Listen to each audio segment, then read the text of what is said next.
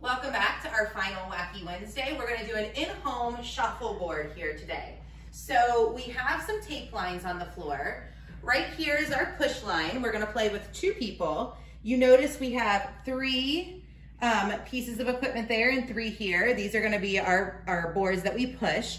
Um, you can use anything at home. You can use bean bags, you can use lids, um, these are Tupperware lids. You can use a ball. Balls don't really stop. So you want to try to do something that's going to stop after you push it. This is our push line.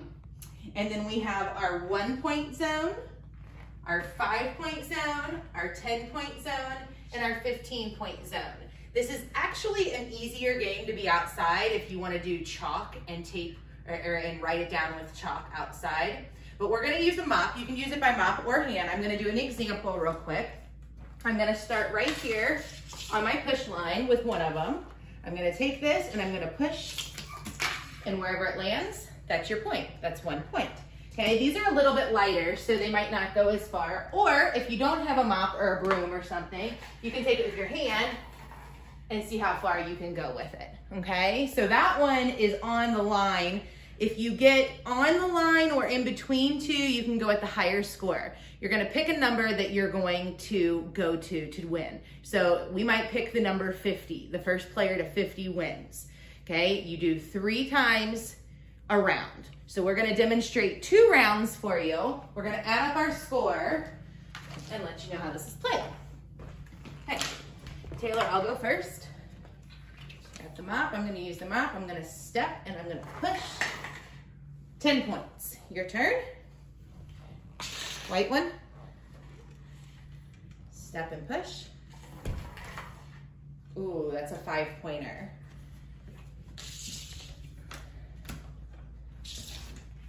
Oh, that one floated. That's one point. Those are a little bit lighter.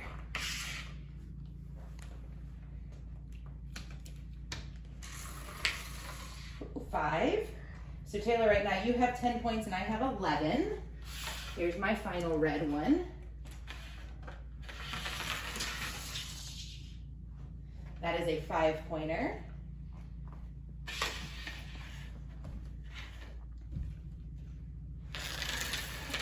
Oh, and Taylor's got 10. So I had 11 plus five, which is what, Taylor? 16? And then you had how many? 10 plus 5 is 15. So I have 16 in round one. She has 15 in round one. We're to go collect our things and do round two.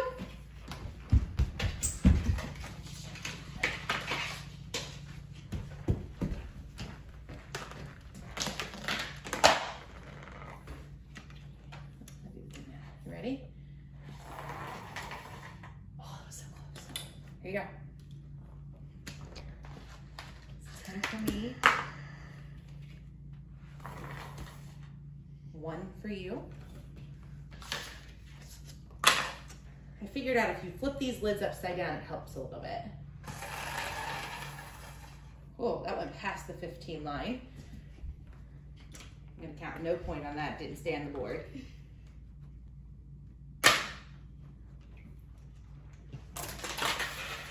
Not on the board, we're not gonna count that. Okay, so we're still at 10 and five. Last one for me. Five. That's 15.